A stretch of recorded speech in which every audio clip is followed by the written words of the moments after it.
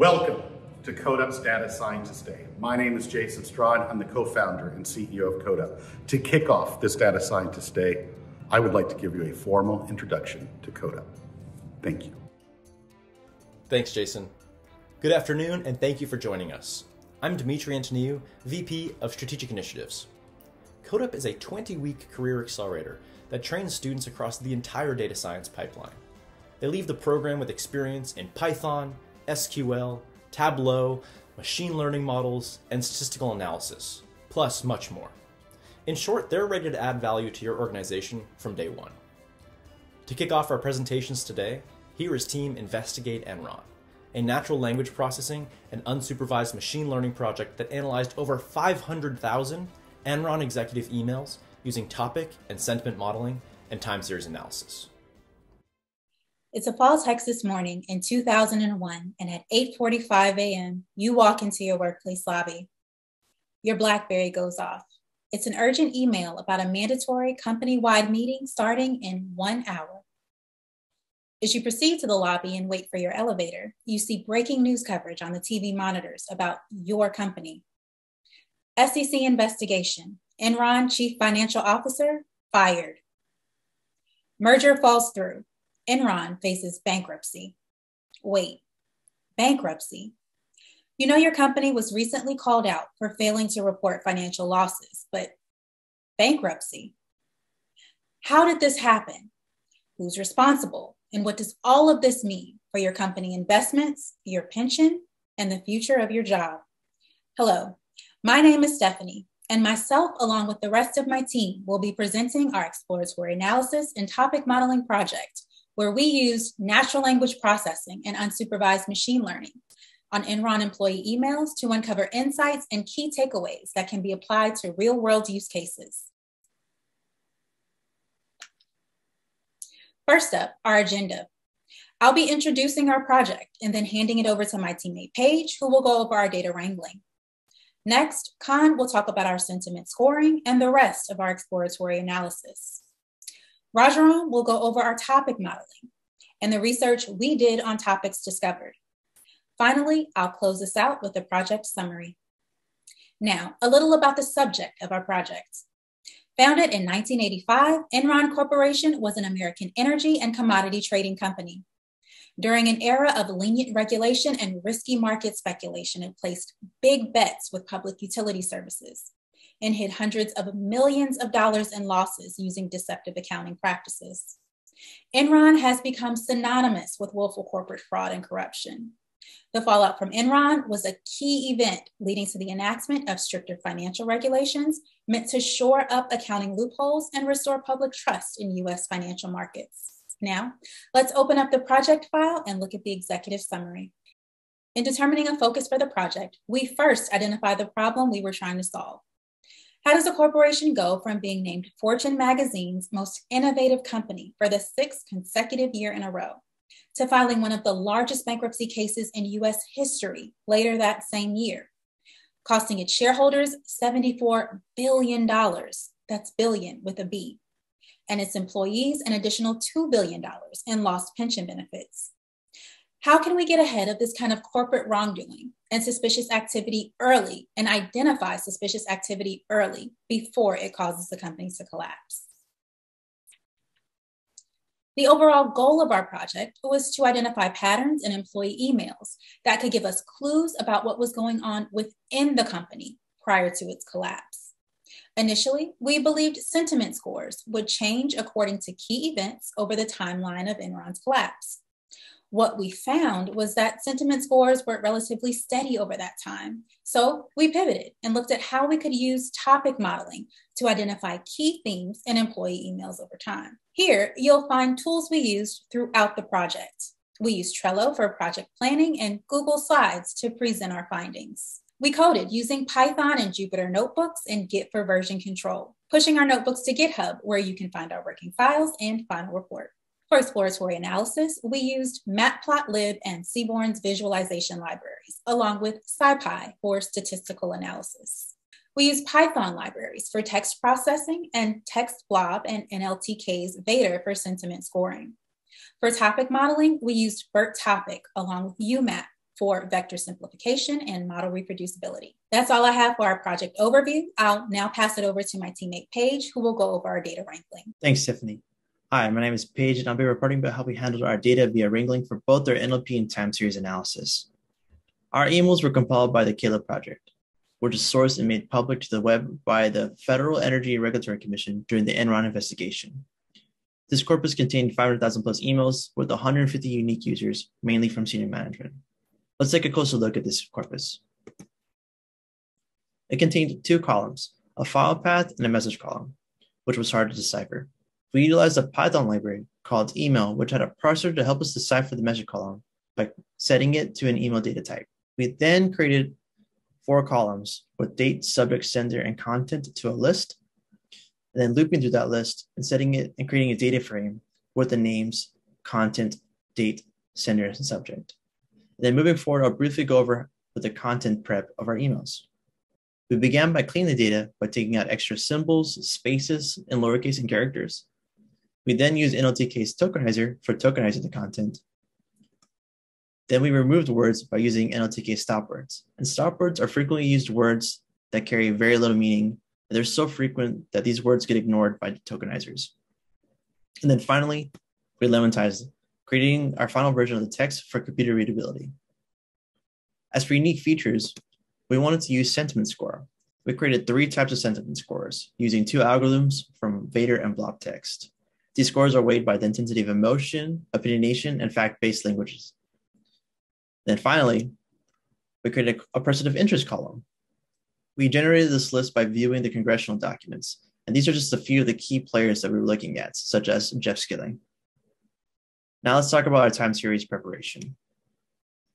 We look at the distribution of our emails throughout the years. We noticed that most of our corpus had emails from 1999 and 2002, and the biggest one being in 2001. So moving forward with the time series analysis, we use those four years with our sentiment scores, which now Khan will speak more about. Thank you, Khan. Thank you, Paige. Hi, I'm Khan, and I'll be going over our exploratory analysis. It was our initial hypothesis that we would see a decline in sentiment that aligned with the collapse of Enron. Instead, what we found was that sentiment remained neutral to positive. Okay, so maybe the majority of people of Enron didn't know what was happening. So we decided to focus on persons of interest, the executives. Surely they knew what was going on. Here we see two trend lines, one for persons of interest and the other for non-persons of interest. To the left, we have intensity. To the middle, we have polarity. And to the right, subjectivity. Intensity and polarity are both emotion based. The more words that are used that are emotional, the higher their scores. Subjectivity is opinion based. The more words that are used that are opinionated, higher its score. So here we have intensity. And we see that both groups, persons of interest and non persons of interest, are about the same, mostly positive. For polarity, both groups are again about the same, mostly neutral. And for subjectivity, both groups are again about the same, just slightly below neutral. These charts indicate that there are no significant differences in sentiment scores between persons of interest and non-persons of interest. We confirm this by performing two sample t-tests for each sentiment score. Okay, so we know that sentiment scores are mostly neutral to positive. But why? Why are we getting neutral to positive sentiment scores during this extremely negative situation? We believe that it's because the emails were still written in a professional manner. Here we see an email to Enron employees addressing Enron's bankruptcy filing. In it, you'll see the words are very neutral, as it should be, as a corporate and professional email. But for sentiment analysis, this negative email is just a neutral email. So then we try to find seasonality patterns. Seasonality patterns are any changes by month, year over year. So here we have all 12 months, and they show their changes over the years. And even though we see three months that have significant dips, we did not find any seasonality patterns. So, with sentiment scores being neutral to positive, even with persons of interest, and finding no seasonality patterns, we decided that sentiment analysis wasn't really going to help us. So instead, we used topic modeling to identify any themes that Enron employees might have talked about. Now, I'm going to pass you to Rajram, who will explain our topic modeling. Thanks, Khan. Hi, I'm Rajram, going into topic modeling. We filter our data to only look at person of interest. We further filter our data by year. Modeling with the data from 2000 and then with the data from 2001 to key in on time leading up to Enron's bankruptcy filing in December of 2001. We use BERTopic modeling on our pre-processed data. Talking about how BERT topic model works. Machine learning models can only process and interpret numerical data. Because we were working with text data, we had to find a way to convert email text to numerical values. BERTopic's embedding features first converted the text to numerical vectors so that our machine learning model could work with. Next, BERTopic's UMAP parameters simplified our transformed numerical values and created a random state which allows our model to return same results every time it runs, making it reproducible. HDBSCAN then created a clusters with simplified numerical data by grouping similar values. Next, c-TF-IDF extracted the keywords from our cluster groups. Finally, our model output gave us a data frame comprising topic numbers with four most frequent keywords for each topic spaced by underscore. Our model also had various inbuilt visualization functions. We were able to use them to visualize the output of our model. Using BERTopic, we found 149 topic clusters, with each cluster containing keywords that were grouped by our model based on word similarity and word frequency. We did research on keywords that stood out to us. And one particular cluster of interest had a keywords relating to California's blackouts during the summer of 2000, caused by the energy crisis. Enron executives lined their pockets as public utilities were deregulated and they manipulated the markets, contributing to the blackouts. With this research, we were able to connect news stories from events that were actually happening. One method of BERTopic was a find topic search features where we could actually scan all of the employee emails and find communication specific to our keywords of interest. And that's all I have for topic modeling. Now, Stephanie will close out our presentation with the conclusion. Thank you. Thanks, Rajram. We thoroughly enjoyed this and learned so much throughout the course of this project. Enron was a company most of us were vaguely familiar with, and this project allowed us to learn even more about this story and apply natural language processing and machine learning methodologies to analyzing the raw text of the data. After researching the Enron scandal and examining our raw data, we wanted to know how we could use the corpus of employee emails to gain insights about what was going on within the company prior to its collapse and create a machine learning deliverable that could be applied to real world use cases. Initially, we thought sentiment scores would give us some clues, but after realizing that a corporation's professional tone would mute any valuable insights, we pivoted and looked at topic modeling, creating clusters of keywords that we then researched and were able to match up to real world events in the company's history leading up to its collapse. That's all for our presentation today. If you would like to learn more about our project, check out our final report and working files in our GitHub repository, linked below. Thank you for your time and attention. As you just saw, the capstones are an end-to-end data science project. The teams start by identifying a problem and dataset, forming a hypothesis, and determining stakeholders. Then they wrangle real messy data to analyze, model, and visualize in order to deliver their key takeaways and recommendations in these presentations. They worked on this entirely remotely as full time data scientists, utilizing Zoom for daily Scrum meetings and virtual Kanban boards. With our next capstone project, here's Team Sound the Alarm. Using data acquired from the U.S. Forest Service Research Data Archive, The team analyzed over 2 million wildfire records occurring across a span of 27 years. Through extensive exploratory analysis, they identified key drivers of wildfires and developed actionable solutions for reducing the devastation caused by wildfires. Hello, everyone. My name is Jeanette Schultz, and this is Sound the Alarm, a team project that is all about the wildfires that have happened here in the United States over the last several years. First, I'd like to introduce you to my team of data scientists, the Dames Researching Flames. Our team consists of Lori Ainsley, Christine Cabanella, Sophia Stewart, and myself. For this presentation, I'll be going over our executive summary and conclusion. Lori will then explain how we obtained and cleaned our data. Sophia will be going over key insights we learned throughout our exploration of the data. And Christine will discuss some solutions that you can help be a part of. So why did this project spark our interest? Right now, we are facing a man-made disaster of global scale. Most of us have heard the term climate change, and it's only getting worse. As the world gets warmer, our forests are getting drier.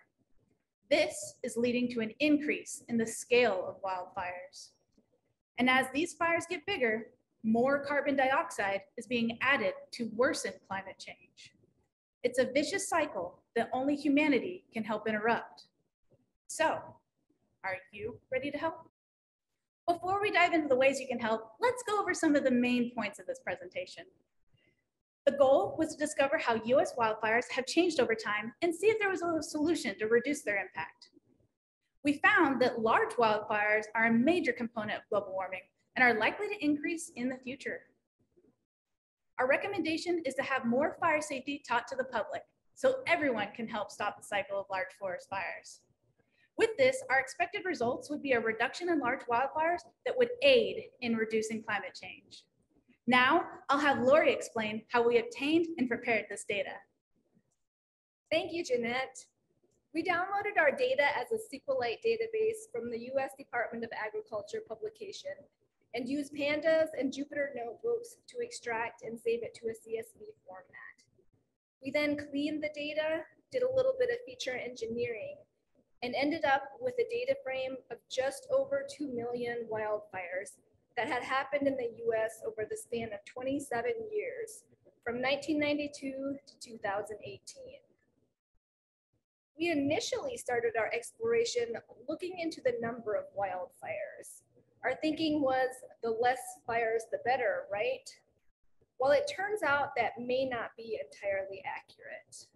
Things got a little more interesting when we started looking into the wildfires by size.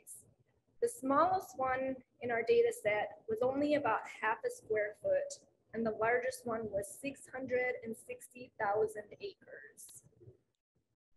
We decided to simplify this range of sizes and classify the fires as either large or small, with those 5,000 acres or greater as our large fires and anything less than that as small. We then wanted to see the proportion of large to small wildfires and the total area burned by each, and we're very surprised by what we discovered. If you direct your attention to the chart on the left, you'll see that the large wildfires were only a tiny proportion of our data set, and yet they dominated the smaller wildfires in total area burned. We then also looked at how this had changed over time and discovered that while the number of smaller fires is fairly sporadic over the years, we can definitely see an increase in the number of large wildfires. And this is alarming because large wildfires tend to burn very intensely and cause the most damage to the environment. While it may sound counterintuitive, fires are actually a natural and natural and beneficial part of many environments, as long as they're kept at low intensity. They provide many of the benefits we have listed here, one of the primary ones being that they help clear debris from the landscape. And with climate change, we've seen an increase in the amount of this debris, which serves as fuel, helping wildfires spread quickly and is why we're seeing the increase in the number of large destructive wildfires. I'm now going to pass it off to Sophia to tell us a little bit more about the causes and the different regions. Thanks, Lori. Most often, the cause of the wildfires in our data set is not documented, but of those wildfires for which we do know the cause, human influence is overwhelmingly responsible. Debris and open burning is the number one known cause of wildfires in the US. Following that, the causes of wildfires include arson, natural events, vehicle and equipment use, recreation and ceremony, power operations, and other human activities. Despite its overall ranking, natural events such as lightning cause 62% of large wildfires in the US. To get a better understanding of how wildfires differ by location, we split the United States into five different regions. The Western, Southwestern, and Southeastern regions are often prone to drought and high temperatures, so it's no surprise that this is where large fires are more likely to occur. With this in mind, I will move forward with a focus on these areas. The Western region accounts for 70% of all large wildfires in the US. On average, a large wildfire in this region burns 30,000 acres. The majority of wildfires in this region are caused by natural events. The Southwestern region accounts for 19% of large wildfires in the US. The average large Southwestern wildfire burns 22,000 acres. Most wildfires in this region are caused by debris and open burning. Although the southeastern region only accounts for 5% of large wildfires, it does account for over a third of all wildfires in the US. On average, this region sees 31,500 fires each year, most of which are also caused by debris and open burning. That said, many of these fires are intentional controlled burns, which likely contribute to the smaller amount of large wildfires in this region. Now, I'll hand it off to Christine to talk about some of the largest wildfires. Thank you, Sophia. So I'd like to continue with some additional findings on significant wildfires we found in our data set. The first one being a wildfire named Starbuck. And no, not Starbucks coffee, just Starbuck. This fire occurred in 2017 and spans over two states, Oklahoma and Kansas, and was responsible for burning over 662,000 acres, making it the largest fire landwise in the entire US. Just so you can visualize the monstrosity of the size of this fire, just imagine the entire city of San Antonio times two.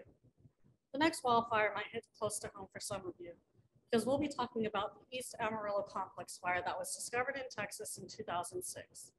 This fire was not only the largest in size in all of Texas, but it's also among the most deadly. It caused 12 deaths and was responsible for almost 480,000 acres burned. This wildfire was determined to be human caused. Speaking of fires caused by humans, we want to relay the message that big or small, fire safety is for all. Since most fires are caused by human interference, you might be wondering how we as humans can do our part in reducing the amount of human caused fires. The first thing is to fully extinguish fire pits, barbecue pits, and campfires when you're done with them, and never leave an open fire unattended. Second is to report any wildfires to authorities so they can be extinguished if needed. The more time that elapses once a fire starts means more time for the fire to spread and grow larger. Next is to be aware of weather conditions, such as if it's a windy day or if the ground has been dry for a period of time. And lastly, for the sake of your vehicle and the environment, vehicle maintenance is important. For maintenance on your vehicle, like leaky seals that extract fluid that may be flammable or broken parts can cause unwanted fires. Now I'll be passing it over to Jeanette to wrap up our presentation. Thank you, Christine. In summary, the number of wildfires has only slightly increased over the years, but the amount of destruction caused by wildfires is showing a significant upward trend. Most wildfires are caused by human negligence, which means we can stop the cycle. And lastly, open burning, when done safely, is an important component in keeping future wildfires small. And we encourage everyone who does open burn to do so responsibly. If you'd like to investigate this data yourself, or dive further into our research, you can find that here in our appendix. If you enjoyed our team, you can find the links to our individual projects and profiles here. And lastly, remember, only you can prevent wildfires. Thank you so much. At Codeup, we don't just teach statistics, SQL, Python, and other tools. We also teach our students how to learn and approach new problems with perseverance and self-reliance. This is what builds adaptable professionals. They can learn to use whatever tools they have to create meaningful solutions. This adaptive expertise is often referred to as learning agility and is one of the most highly sought after traits in the tech field. As you watch our next presentation, you'll see how this group turned a problem into an innovative solution. Here's Team NPR News.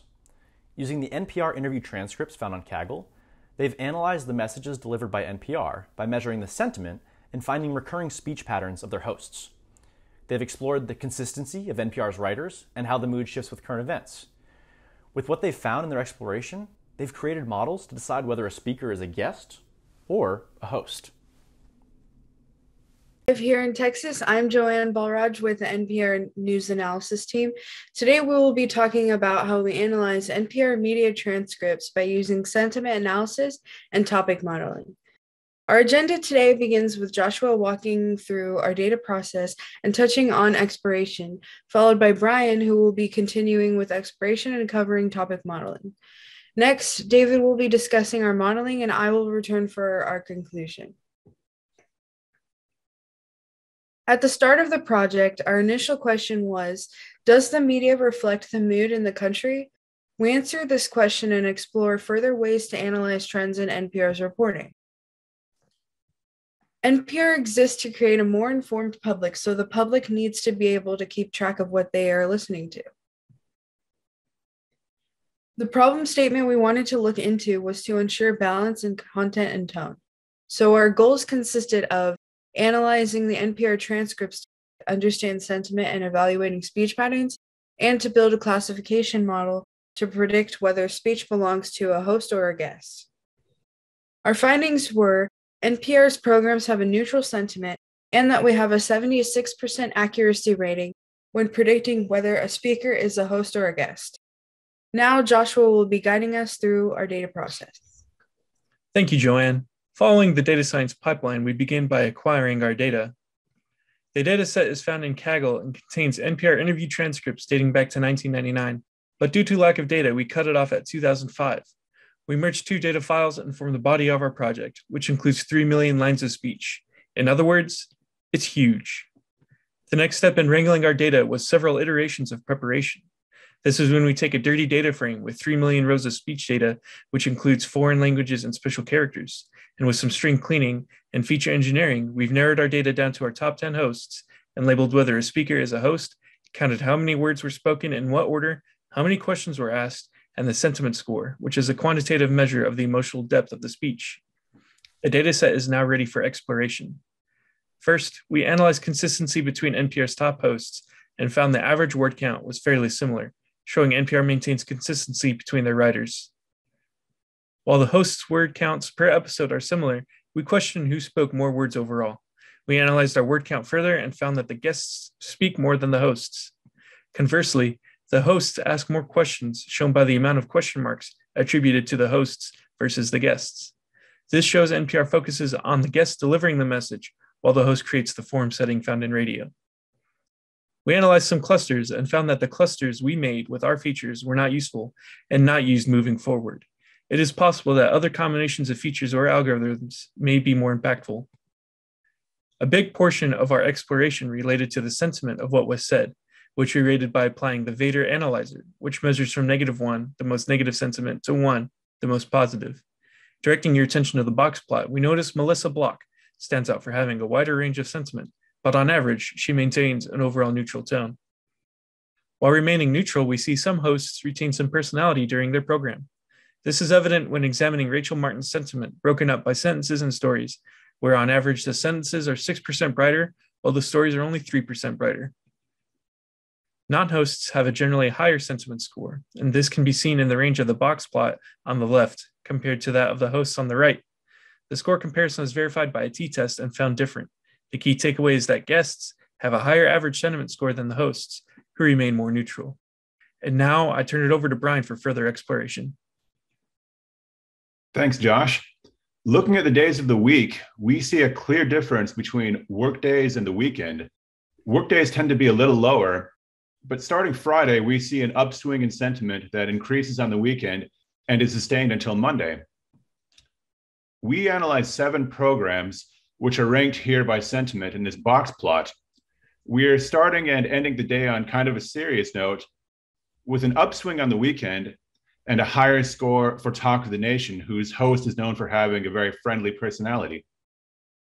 Looking at the most common words during the different presidencies, there's a lot of talk about work, facts, and the country during the Bush and Obama presidencies, with a slight shift of focus after the election of President Trump, where his name is actually the top result. We had a look at some of the stories with a maximum sentiment rating, such as Woody Guthrie's indelible mark on American culture, and the minimum, the epidemiology of gun violence, race, region, and policy. There were many, many more stories with the max rating and only a handful with a minimum. We created a graph of overall sentiment over time, and it made us wonder what was going on during the quote unquote best of times and during the worst of times.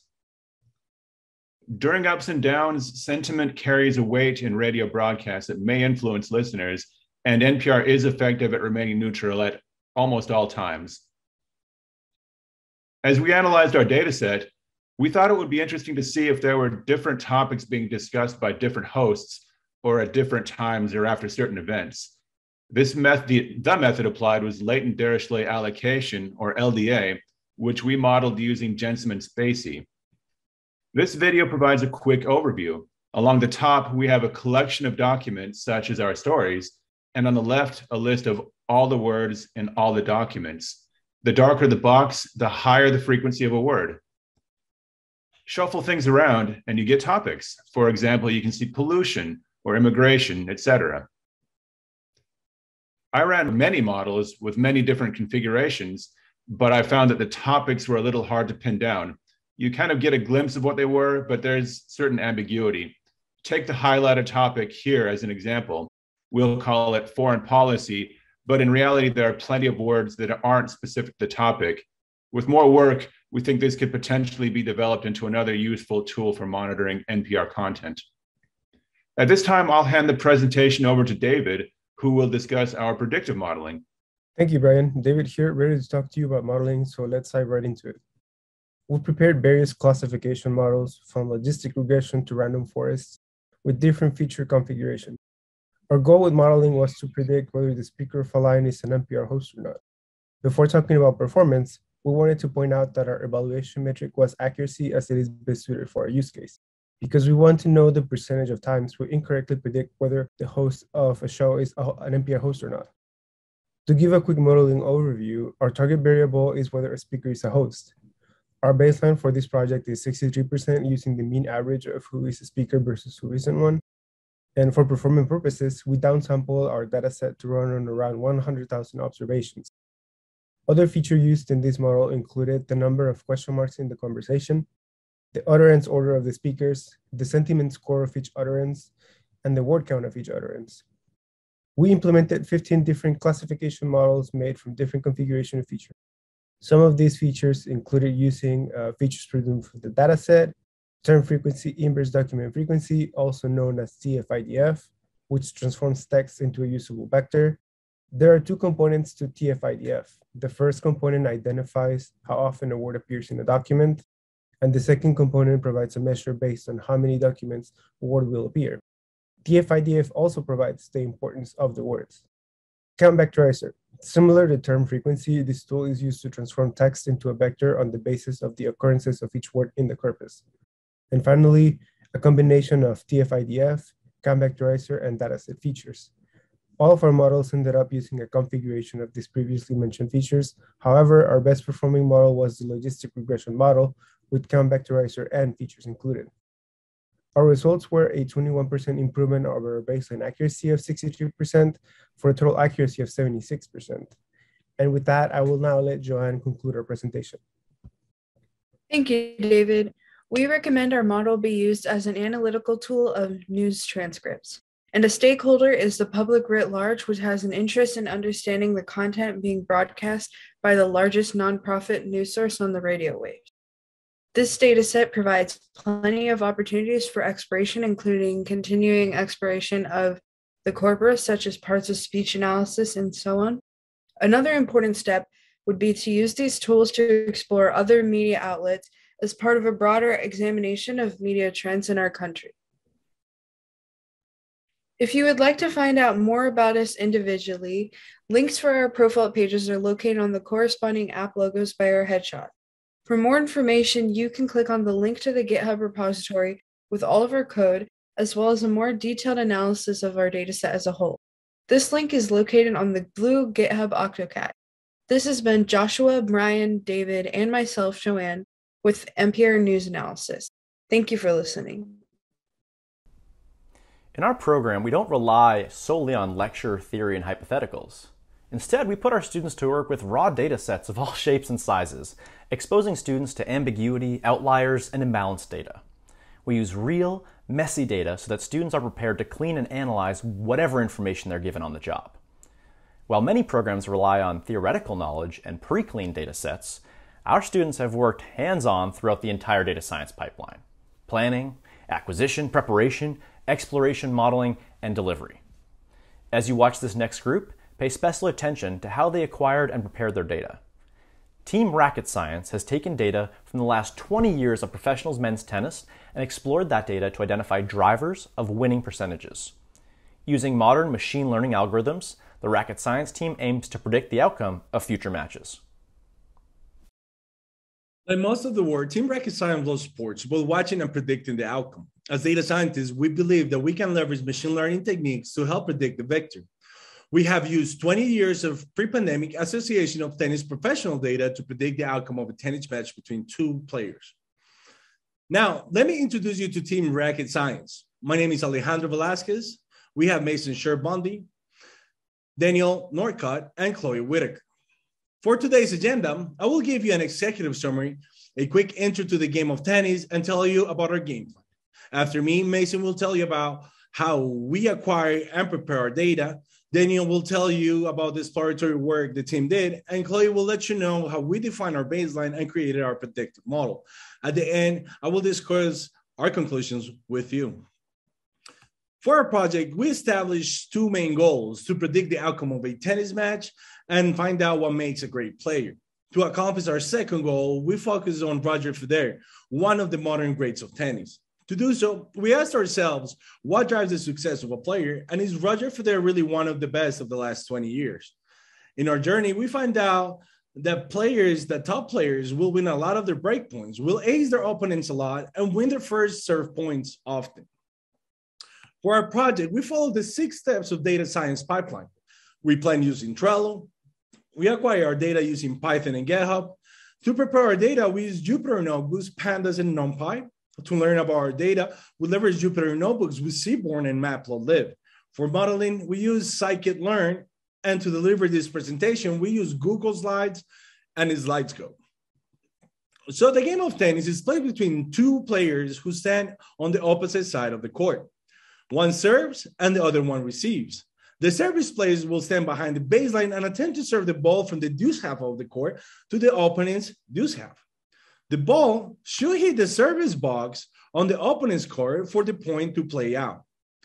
When a service is returned, the ball must land in the highlighted area for the game to go on. If the player who is returning the ball lets the ball bounce two times uh, before returning it, the opposite player wins the point.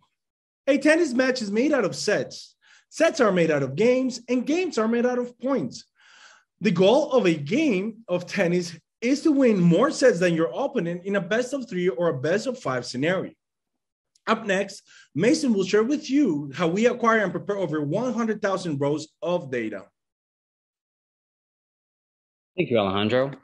To begin our wrangle, we simply cloned Jeff Sackmann's repository for the men's tennis tour on GitHub, a code hosting platform for version control and collaboration. After we cloned the repository, we were ready to prepare the data in our Jupyter notebooks. First, we combined all of our CSV files into one data frame. The data was largely in the format we needed, which was all the match statistics as well as biographical information from both players, except the players were designated as winner and loser.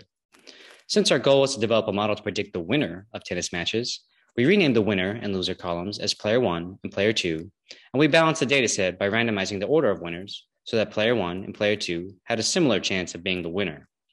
We then created a Boolean mask that declared whether or not player one won the match. This was our target variable. Because the pandemic has curbed top player participation, and because we wanted our data to represent the heart of men's tennis, we limited our data to the years 1999 to 2019, and we dropped our records of players that had played less than 50 matches. Our data was now at the heart of the game. To clean the data, we renamed columns, filled missing values, and encoded categorical features for modeling. Now that our data was clean, the biggest problem we faced in preparing the data was most of our features were post match accounts. We cannot base a pre match prediction for a matchup based on features that are generated during the match. So, since we were really looking for drivers of winning, we decided to navigate our major feature problem through feature engineering. And we decided to explore drivers of greatness as well. We set our feature focus on aggregated statistics. A feature we created for the problem was head to head stats, which is a rolling aggregate record of wins for each player matchup. And in order to explore drivers of greatness, we created a player data set based on aggregated career stats for any player in our data who achieved a rank of 100 or higher. And we focused on Roger Federer and his top rivals. This sums up our wrangling process. I will now hand you over to Daniel, who will go over our findings in this project. Thanks, Mason. I'm Daniel Northcutt, here to take you through exploration. We first asked what attributes correctly predict the match outcome. Using exploration and statistical testing, we focused on these key features. We found there was no significant difference on height and age, height or age, and with surface type of carpet, clay, grass, and hard, only clay showed to be an indicator. Ranking points, player head to head history, and dominant hand all showed significance within our test. Beyond looking at these features to predict a match outcome, we wanted to explore what are the drivers of greatness for a player to succeed. Aggregating the stats of the 13 players that reached rank 1 to the 269 other players, we discovered that aces and breakpoints per match, along with first serve win percent, were the primary attributes, while, this, while second serve win percent, grass and hard surface performance, and low double fault percentage served as secondary. As we put weight on these features, we concluded Roger Federer is the greatest player within this time. This discovery was being attributed to being in the top three of all player attributes. We explored Federer's career and has been nothing but spectacular, highlighting a 74% win rate against top 30 opponents and winning a total of 20 Grand Slams. He has had many rivalries over the years, which has produced some of the finest tennis matches of all time. Though many players have a better record on him, including Nadal with 9 3 on clay, still, his performance in the key metrics of greatness makes him the best player in this 20 year time span. Looking at Federer's career, we ask can greatness be predicted at an early age? Is it natural talent or an evolution through one's career? Aggregating all players' first 50 matches, we concluded that it's extremely difficult to predetermine future champions. We found trends in predicting top 30 but with Federer and his rivals, only one of which stood out beyond the mean. Federer performed average in break points and aces while performing very low in first serve win percent, a high loss rate against ranked opponents, and a high double fault percentage. In summary, height and age play no significant difference in match outcomes. The drivers of greatnesses are aces, break points, and first serve win percents, and only clay showed significance in surface type. Next up is Chloe with modeling. Thanks, Daniel. Our modeling process to predict match winners is as follows. We prepared the data, created the baseline to compare our models against, created a model based on no upsets, created classification models evaluating on train and validate, and finally evaluated the best model on test. The first step is to prepare. We separated the data into X and Y, where X represents the features that drive player one to win, and Y represents the target variable that we are trying to predict, which is player one wins. Before creating our classification models, we created a baseline to compare them to based on assuming player two will win, since player two wins most often in this data set. The baseline accuracy is 51%. To improve on the baseline, we created a model based on the assumption that there will be no upsets and that the highest ranked player will win the match. This seems like a simple model. However, it will be actually tough to beat since it is based off players' rank they got through winning tournaments and racking up rank points. The best indication we have that a player will win in the future is that they have done so consistently in the past. The accuracy for this model is 64%. We then built several different classification models with varying parameters using the features we identified as drivers of win. The model that performed the best was the random forest model with an accuracy of 66% on train and 64% on validate. I'll now explain how our model works. A random forest model is made up of many decision trees. In classification modeling, the objective is to determine which class an observation fits into. To do this, a decision tree chooses the features that affect the target the most and asks true and false questions until a conclusion is reached. Many decision trees use random features and samples make up the random forest model. After each tree has come to its conclusion, the model selects the most common outcome amongst all the trees as the final decision for the random forest model. The features that our model found to be the most important in predicting player one wins were rank difference, rank points, clay surface, and head to head for players one and two. Finally, to test our best model on unseen data, we evaluated the random forest on the test dataset. Our model predicts the winner accurately 64% of the time. This is the same accuracy as our upset model, but beats our baseline by 25%. Alejandro will now wrap up the presentation with our conclusion. Thanks, Chloe. In conclusion, high-ranked players will beat their opponent about 64% of the times, meaning grading is tough to beat even for machine learning. Roger Federer is really a grade with a winning record of 82%. Our greatness comes from experience. In reality, age is not a key factor. With more time, we would like to engineer aggregated features by day to improve our modeling. Thank you very much, and I hope our time with you was insightful. Have a great day. From working in teams to presenting complicated data, communication skills are critical in data science. Understanding data is only half the problem.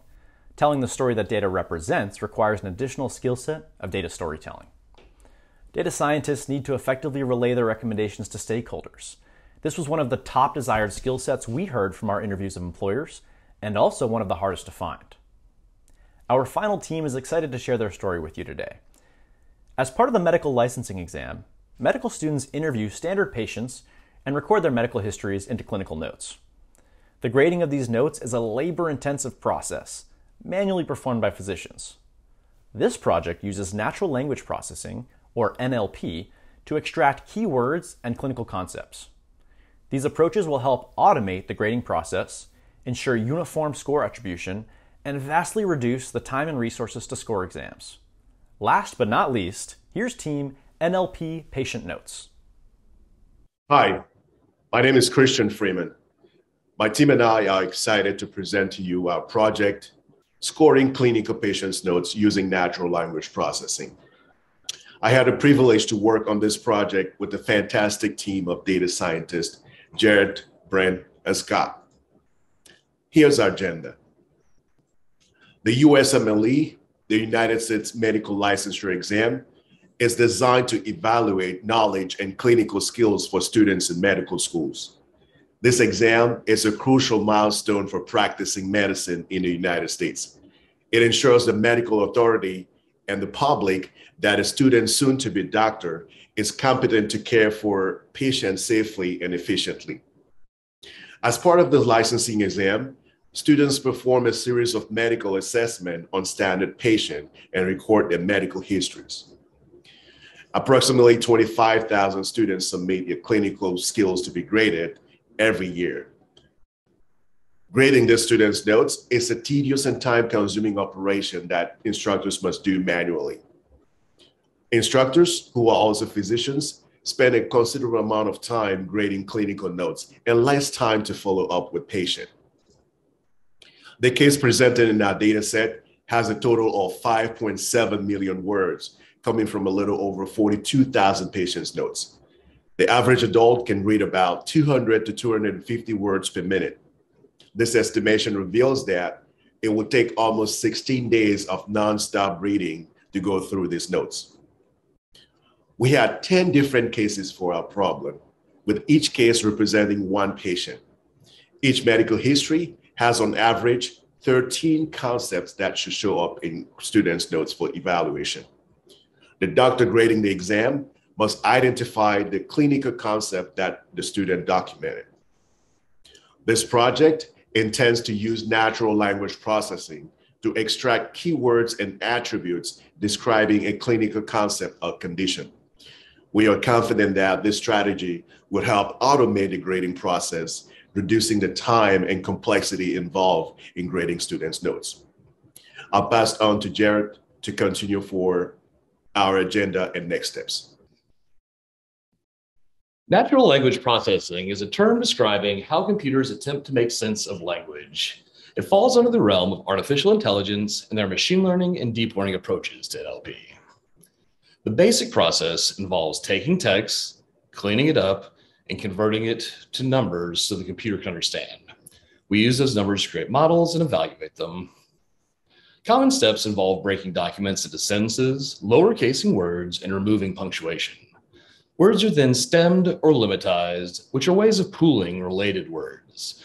With stemming, suffixes are dropped, and lemmatization is a more sophisticated technique that accounts for irregular verb conjugations and other grammatical contexts. Here's what an original, clean, stemmed, and lemmatized note look like. As I mentioned, we removed punctuation as part of cleaning. However, there are certain forms of punctuation in our notes that are essential for understanding them. For instance, there's a big difference between three to four beers and 34 beers. And pay 510 doesn't make much sense, while paying five out of 10 does. So we added hyphens and slashes back into the text. Now that our words are cleaned and processed, we need to represent them numerically. One basic approach for doing so is bag of words, which is essentially just a count of word frequency. The next level of complexity for turning words into numbers is term frequency inverse document frequency. This technique also relies on word counts, but the text is subdivided into documents and the relative frequency of a word in a document is used to assign values to the words. Now that we've turned our words into numbers, we can use them to build machine learning models. For our first model, we wanted to see if we could predict which case a note belonged to based on the contents of that note. This is a trivial task for a human, but our model can do so with much higher throughput while still achieving 100% accuracy. While this approach was great for predicting which case a note belongs to, when we applied these same techniques to predict clinical condition labels from the case notes, it fell short, achieving less than 10% accuracy. Brent will now share with you some of the particular challenges and reasons why these techniques are inadequate for this task. So one of the challenges our traditional NLP model was facing were the multiple ways in which the students were documenting the clinical concepts within their notes. In this example, family history of myocardial infarction is the clinical concept found within the grading rubric, and surrounding it are only some of the many ways the students were expressing this within their notes. If you draw your attention to the top left corner, Dad with recent heart attack, the SIC indicates a misspelled word from the student and none of those words match exactly the words from the rubric, so the model was having a difficult time making the connections. Misspelled words are another challenge. Misspelled words become new vocabulary for an NLP model. This inaccurately increases the size of the corpus vocabulary, and this introduces challenges for models that depend on word frequencies. Negations is another challenge. Without contextual awareness, the model will inaccurately attribute these clinical concepts to the patients. We need more advanced techniques in order to include contextual meaning. So this led us to our deep learning approaches, which Scott will now introduce. Thank you, Brent. The next step was to use deep learning to attempt to get context from the notes. First technology we used was Gensim to help discover the context of a word in a document. Continuous bag of words is one technique within Gensim that uses the context of surrounding words to predict the middle word. So for example, using patient reports and falling asleep to predict difficulty. Skipgram was another technology within Gensim that is used to help predict the surrounding words from the middle word. So for example, using difficulty to predict patient reports and falling asleep. Now, while using TF-IDF can compare the frequency of words, it gives us limited information. However, using Gensim's word2vec, we are able to contextualize a word in a sentence and therefore gather much more information. Whether using a pre-trained GenSim model trained on Google News, seen here on the left, or training on our corpus, seen here on the right, useful but different information is returned. There are different ways the pre-trained model versus our corpus discovers similarities between words. For example, the pre-trained model finds similarities between nausea and dizziness, vomiting, and constipation, and our corpus finds similarities between nausea and different misspellings of the word nausea. This helps in understanding the different ways students might express a clinical concept. The next technology we used was spaCy to help locate specific concepts in the notes. So some challenges we faced with spaCy is that it did not recognize clinical terms and some topics were misclassified. In this example, SH in the bottom right corner is classified as an organization. However, SH in this context can mean sexual history or social history. The next technology that we used was SciSpaCy, which is just like spaCy, except it's trained on biomedical data. It was much more successful at locating the clinical concepts within the student notes. So for example, it found heart pounding, dyspnea, chest pain, and Adderall. Next, you'll hear from Brent to discuss another deep learning approach. Thank you, Scott. Another deep learning approach we took was to create a multi-label text classification model using TensorFlow and Keras. Before sending the data through our model, we had to pre-process the text first. So we created a single list of all of the clinical concepts found within the grading rubric. These became the labels that our model will predict. We then separated the labels into sets, each set corresponding to its respective case.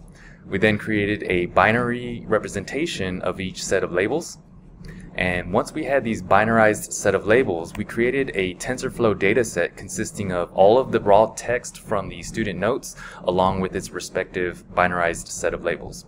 We ran it through a text vectorization layer which represented the text as numbers and then sent that through our sequential model which consisted of three layers and that model returns a ranking of the labels that it predicts to be found within the student notes. Currently, our model is able to predict the proper clinical concepts found within the student notes 40% of the time. And now Scott will finish the presentation with our conclusions and next steps.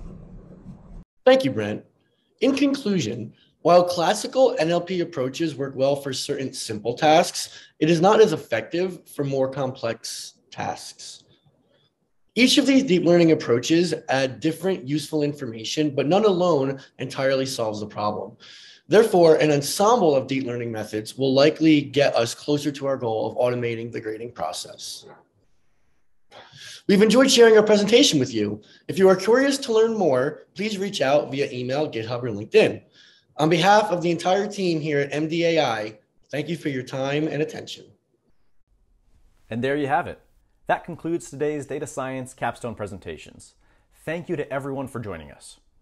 If you're an employer that's ready to hire a data scientist, data engineer, data analyst, trained in the most in-demand skills, head over to alumni.codeup.com to find resumes and contact information of these fantastic graduates, or just email us at partners at codup.com. Family and friends, stay tuned to see a little bit more as our graduates reminisce on their favorite Codeup memories and thank their supporters. A private Zoom celebration will follow these videos. Thank you, everybody, and have a fantastic day.